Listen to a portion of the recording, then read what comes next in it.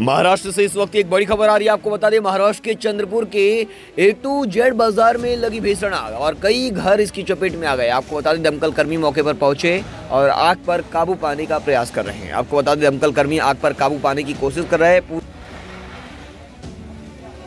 आपको बता दें, पूरा इलाका आग की चपेट में आने की आशंका है। लाखों का सामान जलकर खाक हो गया है। सुबह सुबह शॉर्ट सर्किट से भीषण आग लगी है। इस वक्त एक बड़ी खबर आपको बता रहे हैं।